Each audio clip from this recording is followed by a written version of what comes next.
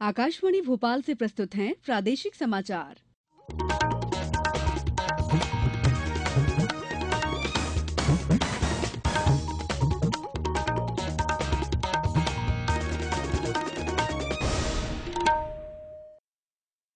नमस्कार, समाचारों के साथ मैं दीपा सिंह। मुख्यमंत्री शिवराज सिंह चौहान की अध्यक्षता में आज भोपाल में राज्य मंत्रिमंडल की बैठक में कई महत्वपूर्ण प्रस्तावों को मंजूरी दी गई। बैठक के बाद जनसंपर्क मंत्री और राज्य सरकार के प्रवक्ता नरोत्तम मिश्रा ने पत्रकारों को बताया कि किसानों को उनकी फ़सल का उचित मूल्य दिलाने तथा कृषि आय को दोगुना करने के उद्देश्य से मुख्यमंत्री भावांतर भुगतान योजना 16 अक्टूबर से दो सौ सत्तावन मंडियों में एक साथ शुरू होगी। उन्होंने कहा कि जीएसटी प्रणाली लागू होने के बाद उद्योग संवर्धन नीति 2014 में संशोधन किया गया है।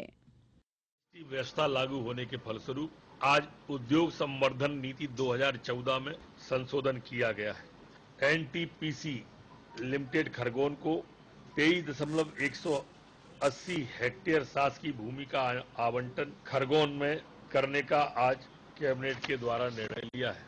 लोक निर्माण विभाग के अंतर्गत आने वाले पदों के लिए भी अस्थायी पदों को स्थायी करने के बारे में मंत्रिपरिषद के द्वारा निर्णय लिया है। प्रधानमंत्री नरेंद्र मोदी ने नानाजी देशमुख के जन्म शताब्दी समारोह का उद्घाटन किया। इस अवसर पर श्री मोदी ने विभिन्न ग्रामीण और स्थानीय विकास से जुड़ी परियोजनाओं का शुभारंभ किया।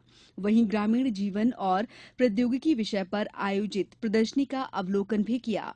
इधर, मुख्यमंत्री शिवराज सिंह चौहान ने नानाजी देशमुख की जयंती पर अपने ट्वीट संदेश में कहा कि युवाओं को राष्ट्र सेवा के लिए प्रेरित करने वाले व्यक्तित्व को हमेशा याद किया जाएगा। आज अंतर्राष्ट्रीय बालिका दिवस है। संयुक्त राष्ट्र महासभा ने दिसंबर 2011 में पूरे विश्व में बालिकाओं की अधिकारों की रक्षा और मान्यता के लिए 11 अक्टूबर को अंतर्राष्ट्रीय बालिका दिवस के रूप में घोषित किया था। महिला एवं बाल विकास मंत्रालय द्वारा इस उपलक्ष्य में 9 से 14 अक्टूबर तक बेटी बचाओ, बेटी पढ़ाओ सप्ताह मनाया जा रहा है। प्रदेश में भी इस अवसर पर विभिन्न कार्यक्रमों का आयोजन किया जा रहा है।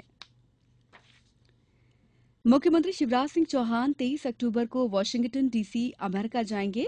श्री चौहान को पंडित दीनदयाल फोरम के शुभारंभ सत्र में बतौर मुख्य वक्ता आमंत्रित किया गया है। ये कार्यक्रम भारतीय दूतावास के सहयोग से foundation for India and India diaspora studies द्वारा पंडित दीनदयाल उपाध्याय की सौवीं जन्म शताब्दी के अवसर पर किया जा रहा है।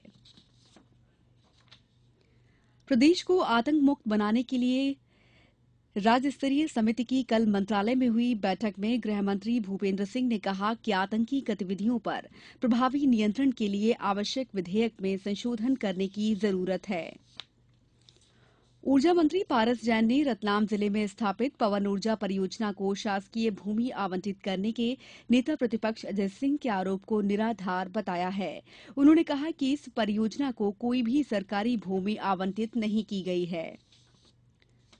प्रदेश में सार्वजनिक वितरण प्रणाली के तहत खाद्यान्न वितरण के लिए प्रत्येक ग्राम पंचायत पर शासकीय उचित मूल्य की दुकानें रहेंगी।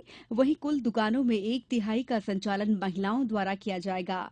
खाद्य एवं आपूर्ति विभाग ने ऐसी ग्राम पंचायत जहाँ सार्वजनिक वितरण प्रणाली राशन दुकान नहीं है, उनके लिए आवेदन आमंत्रित किए हैं। प्रदेश में वर्षा की गतिविधियों में कमी आई है। मौसम केंद्र भोपाल ने आगामी 24 घंटों के दौरान इंदौर, उज्जैन, भोपाल, संभाग तथा होशंगाबाद, बैतूल, बालाघाट, अनूपपुर, सिंगरौली, शहडोल, उमरिया जिलों में कहीं कहीं हल्की बौछारें पड़ने का अनुमान जताया है। अब कुछ समाचार संक्षेप में। शिवपुरी ज़िले में 11 से 30 नवंबर तक स्वरोजगार मेलों का आयोजन किया जाएगा। आगर मालवा ज़िले में कल किसान संगोष्ठी का आयोजन हुआ। होशंगाबाद में प्रधानमंत्री मुद्रा योजना के तहत जिला पंचायत में विशेष शिविर का आयोजन किया गया, जिसमें लगभग पचास हितग्राहियों को ऋण दिया गया।